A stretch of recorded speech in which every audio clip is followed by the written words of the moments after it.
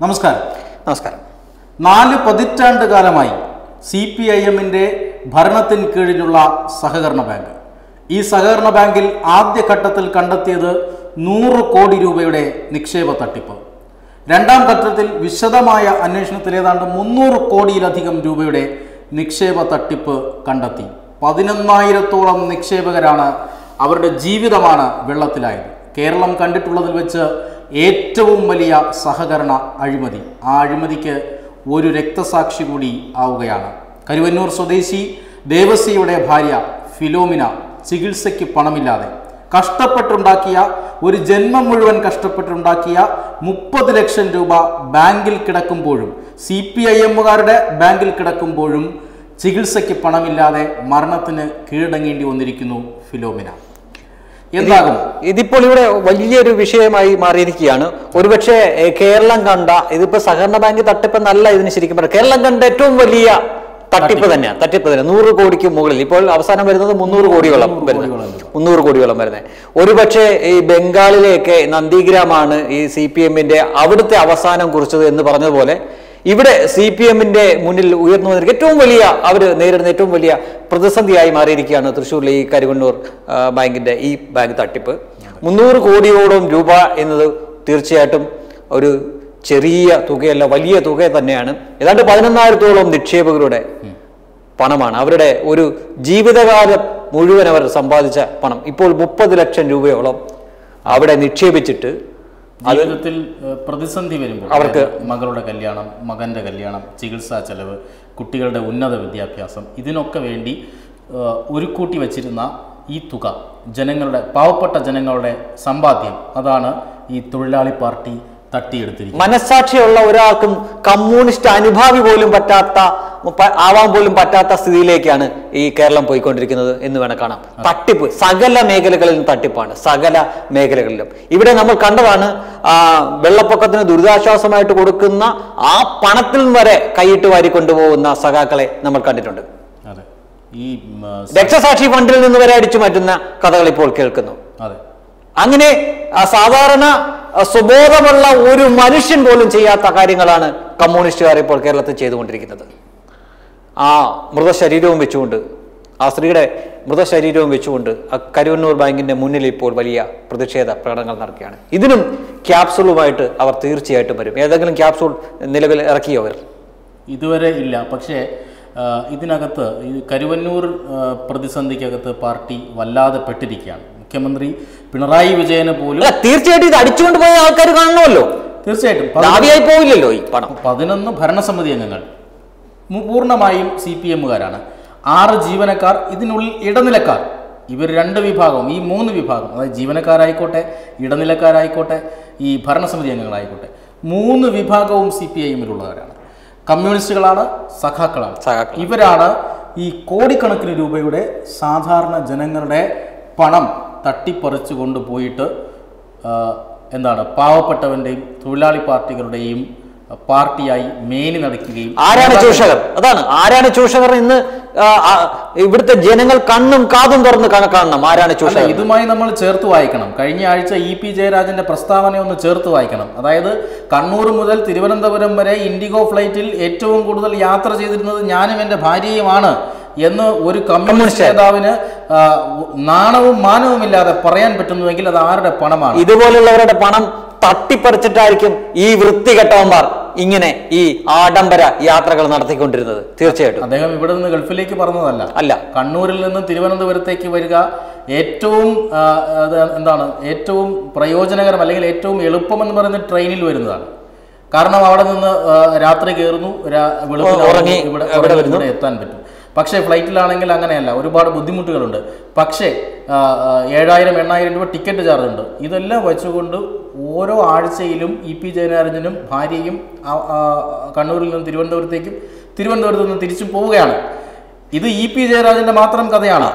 വേറെ ഉണ്ട് അല്ല ഇവർ പറയുന്ന പോലെ ഒരു മണിക്കൂർ കൊണ്ടൊന്നും കണ്ണൂരിൽ നിന്ന് തിരുവനന്തപുരത്തേക്ക് എത്താൻ പറ്റില്ല. യാത്രാ സമയമാണത്. അതിനുള്ള മുന്നൊരുക്കവും പിന്നെ ഇവിടെ വന്നിട്ട് ഇറങ്ങി കഴിഞ്ഞിട്ടുള്ള സമയം പിന്നെ ഈ എത്തേണ്ട സ്ഥലത്തേക്ക് എത്തുമ്പോൾ എല്ലാം കൂടെ കൂടി നാല് മണിക്കൂറിന് മുകളിൽ സമയം വേണം. അതെ. അത് വിമാനത്തിലാണെങ്കിൽ കൂടി. ഇത്രയും വലിയ തട്ടിപ്പ് നടത്തിയിട്ടും ഏതാണ്ട് പതിനൊന്നായിരം ആളുകളുടെ കുടുംബങ്ങളുടെ ജീവിതം വെച്ച് പന്താടിയിട്ടും. എന്തുകൊണ്ടാണ് കാര്യക്ഷമമായ ഒരു അന്വേഷണം പ്രഖ്യാപിക്കാൻ ഈ ഊരിപ്പിടിച്ച വാളുകൾക്കിടയിലൂടെ പോയിട്ടുള്ള വ്യക്തിക്ക് അല്ലെങ്കിൽ ഏത് കാര്യത്തിലാണ്? അവർ പ്രതിസന്ധി നിൽക്കുന്ന ഏത് വിഷയത്തിലാണ് അവർ കാര്യക്ഷമമായിട്ടുള്ള ഒരു അന്വേഷണം പ്രഖ്യാപിച്ചിരിക്കുന്നത്? അവർ പ്രഖ്യാപിക്കില്ല. പ്രതികളെ പിടിക്കാൻ സ്വന്തമായിട്ട് പാർട്ടി കോടതിയും പാർട്ടി പോലീസും ഉള്ളവരാണ്. അവർ കൂടിപ്പോയാൽ കഴിഞ്ഞാൽ എ കെ ബാലിനെയും ശ്രീമതി ടീച്ചറെയും കൂടെ ഒരു അന്വേഷണ കമ്മീഷനായിട്ട് അയക്കും. അവർ പോയിട്ട് കുറച്ച് നാൾ പുട്ടടിച്ച് തിരിച്ചു വന്നിട്ട് പറയും അവിടെ നടന്നത് തീവ്രത കുറഞ്ഞ മോഷണമാണെന്ന് പറയും. ഈ പ്രതികളെ പിടിക്കാൻ ദിവസങ്ങളെടുത്തു അതിന് ആളുകൾ സമരം ചെയ്യേണ്ടി വന്നു. നിരവധി നിരവധി സമരങ്ങൾ ചെയ്യേണ്ടി വന്നു. നാട്ടുകാരെ ലുക്കൗട്ട് നോട്ടീസ് കൊടുക്കുന്നു. ഈ പ്രതികളെ പിടിക്കാതെ കഴിയാതെ പോലീസിന്റെ കൈകൾ രാഷ്ട്രീയ നേതൃത്വം കെട്ടിയിട്ടിരിക്കുന്നു. ഒടുവിൽ നാട്ടുകാരിടപെട്ട് പ്രതികളുടെ ലുക്കൗട്ട് നോട്ടീസ് ഫോട്ടോ പതിപ്പിച്ച നോട്ടീസ് പതിപ്പിച്ച ശേഷം അറസ്റ്റ് ചെയ്യുന്നു. എന്നിട്ട് ഈ പതിനൊന്ന് പ്രതികൾക്കും ജാമ്യം കൊടുക്കുന്നു. ഇന്ന് ഒരു വർഷം കഴിഞ്ഞു. ഈ തട്ടിപ്പ് നടന്ന് ഒരു വർഷം കഴിഞ്ഞിട്ടും ഇതിലൊരു കുറ്റപത്രം പോലും നൽകാൻ. ഒരാളുടെ ജീവൻ ഇപ്പൊ പോയിരിക്കുന്നു. അപ്പോഴാണ് ഇത് വീണ്ടും ഈ പ്രബുദ്ധ മലയാളത്തിൽ മലയാളികളുടെ മുന്നിൽ ഇത് വീണ്ടും ഒരു വിഷയമായിട്ട് വന്നത്. അല്ലെങ്കിൽ കുറെ കാലം കഴിയുമ്പോൾ പോയവർക്ക് മാത്രം പോകുമായിരുന്നു.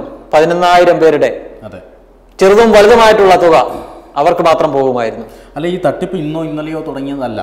അല്ല ഈ പാർട്ടി ഉള്ള കാലം മുതലേ ഇവർ ഇത് തന്നെയാണ് പരിപാടി. അല്ല ഈ കരുവന്നൂർ ബാങ്കിന്റെ കാര്യമാണ് പറഞ്ഞത്. പത്ത് കൊല്ലം മുമ്പ് കരുവന്നൂർ ബാങ്കിങ് ബാങ്കിലെ തട്ടിപ്പുകളെ കുറിച്ച് വ്യക്തമായ തെളിവുകളോടുകൂടി പല പരാതികളും സഹകരണ വകുപ്പിന് ലഭിച്ചിട്ടുണ്ട്. അതൊന്നും ഇതുവരെ അന്വേഷണത്തിന് തയ്യാറായിട്ടില്ല. ഈ സ ഈ തട്ടിപ്പിന് കാരണക്കാരായ അതായത് ഒരു വലിയ സൂപ്പർവൈസറി ലോസ് ആണ്. ഈ ഭരണസമിതി ഒരു ബാങ്കിലെ നിക്ഷേപം മുഴുവൻ തട്ടിക്കൊണ്ട് പോകുമ്പോൾ ഇതിന് മുകളിൽ ഉദ്യോഗസ്ഥരുടെ അനാസ്ഥയാണ്. ഇത്രയും കാലം നടന്ന ഓഡിറ്റ് റിപ്പോർട്ടുകൾ എവിടെ പോയി? മറ്റ് പരിശോധനകൾ വിജിലൻസ് പരിശോധനകൾ ഇതെല്ലാം മേൽനോട്ടം വഹിക്കേണ്ടവരുടെ അനാസ്ഥയാണ്. ഈ സഹകരണ വകുപ്പിലെ പതിനാറ് ജീവനക്കാരെ ഇതിന് ഇതിനോടനുബന്ധിച്ച് സസ്പെൻഡ് ഈ ജീവനക്കാര് മാത്രം പറഞ്ഞുകൊണ്ടാണ് ഇത് ചെയ്തത് എന്നാണോ കരുതുന്നത്? അല്ല. തീർച്ചയായിട്ടും അല്ല ജീവനക്കാരാണല്ലോ അത് സൂപ്പർവൈസ് ചെയ്യണം അതെ. ഈ പതിനാറ് ജീവനക്കാരെയും സസ്പെൻഡ് ചെയ്യുന്നു. അവരെല്ലാം ഇപ്പോൾ സർവീസിൽ തിരിച്ചു സർവീസിൽ മുന്നൂറ് കോടിയോളം രൂപ.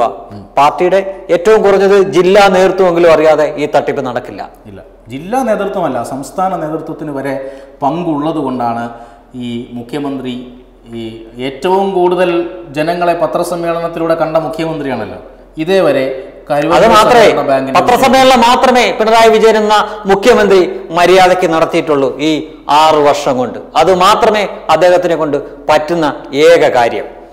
ഏതാണ്ട് മുന്നൂറോളം കോടി രൂപ ഒരു മനുഷ്യ ആയുസ് മുഴുവൻ സമ്പാദിച്ച സമ്പാദ്യം ഒരു സഹകരണ ബാങ്കിനെ കൊണ്ട് വിശ്വസിച്ചു അവിടെ കൊണ്ട് നിക്ഷേപിക്കുന്നു. അല്ലെങ്കിൽ അവിടെയുള്ള ഭരണസമിതി ഇടതുപക്ഷം സി പി ഐ എം അവരെ വിശ്വസിച്ചു കൊണ്ടിരുന്നു. ഒടുവിൽ വലിയ ഈ ഭൂമി മലയാളം കണ്ട ഏറ്റവും വലിയ സാമ്പത്തിക തട്ടിപ്പ് നടക്കുന്നു അവിടെ. തങ്ങൾക്കൊരു അസുഖം വന്നാൽ അല്ലെങ്കിൽ മകളുടെ വിവാഹത്തിന് വിദ്യാഭ്യാസത്തിന് ഒക്കെ ഉപകരിക്കുമെന്ന് കരുതി കൊണ്ടിട്ടിരുന്ന പണം തിരിച്ചു കിട്ടാൻ മാർഗമില്ലാതെ ഇപ്പോൾ മികച്ച ചികിത്സ കിട്ടാതെയാണ് ഫിലോമിന എന്ന വ്യക്തി മരിച്ചിരിക്കുന്നത്. കേരളം വളരെ അഭിമാനത്തോടു കൂടി പറയുന്ന ഈ സഹകരണ മേഖലയാണ് എന്ന് സഹകരണ മേഖലയെ ഇതുകൊണ്ടൊക്കെയാണ് കേന്ദ്ര സർക്കാർ നിയന്ത്രിക്കാൻ- നിയന്ത്രിക്കാൻ ശ്രമിക്കുക പുതിയ ബില്ലുകളും നിയമങ്ങളും അണിയറയിൽ ഒരുങ്ങുന്നതും ഈ കാരണങ്ങൾ കൊണ്ടാണ്. കാരണം നിക്ഷേപകർ സുരക്ഷിതരല്ല. ലക്ഷക്കണക്കിന് കോടി രൂപ ഈ സഹകരണ ബാങ്കുകളിൽ കേരളത്തിന്റെ കള്ളപ്പണമായിട്ട് തന്നെ കിടപ്പുണ്ട്. കള്ളപ്പണമായിട്ട് കിടപ്പുണ്ട്.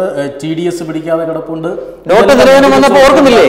ഏറ്റവും കൂടുതൽ ഇവർ കരഞ്ഞു നിലവിളിച്ചത് ഈ സഹകരണ ബാങ്കിലെ അതിന്റെ അവസ്ഥ ആ കാര്യം ഓർത്തിട്ടായിരുന്നു. കാരണം നമുക്കറിയാം തോമസ് ഐസക്കിനെ പോലുള്ളവർ ആ നോട്ട് നിരോധനം പ്രഖ്യാപിച്ച് ഏതാനും മിനിറ്റുകൾക്കുള്ളിൽ വന്ന് തന്നെ നിലവിളിക്കാൻ തുടങ്ങി. ചാനലുകളിലൂടെ. കാര്യം ഇതാണ്. സഹകരണ ബാങ്കിൽ കണക്കില്ലാതെ കിടക്കുന്ന കോടാനുകോടികൾ. എത്രമാത്രം തട്ടിപ്പുകൾ കഴിഞ്ഞ കാലങ്ങളിൽ ഇവർ ചെയ്തു കാണണം.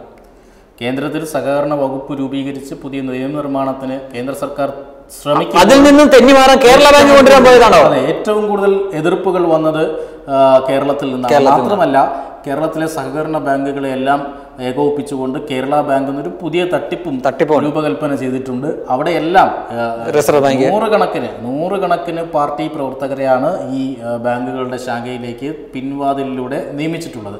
അതിനു പുറമെ വരുന്ന നിക്ഷേപങ്ങൾ. ആ നിക്ഷേപങ്ങളിലും കമ്മ്യൂണിസ്റ്റ് പാർട്ടി കണ്ണുവയ്ക്കുകയാണ് കാരണം കേരളത്തിലെ സഹകരണ ബാങ്കുകളിൽ വലിയ ലക്ഷക്കണക്കിന് കോടി കോടിയുടെ നിക്ഷേപമുണ്ട്. ഈ നിക്ഷേപം. നിക്ഷേപത്തിൽ കണ്ണുവയ്ക്കുകയാണ് ഇപ്പോൾ കമ്മ്യൂണിസ്റ്റ് പാർട്ടി എന്ന് തന്നെ പറയേണ്ടി വരും.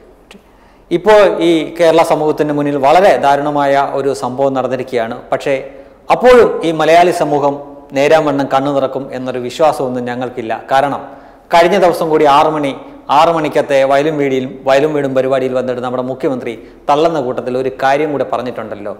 ഓണക്കിറ്റ്. ആ ഓണക്കിറ്റിൽ മായ്ക്കാനുള്ളതാണോ ഫിലോമിന എന്ന വ്യക്തിയുടെ ജീവന്റെ വില എന്ന് ചിന്തിക്കേണ്ടത് ഓരോ മലയാളികളുമാണ്. Web desk Tatwamayi news.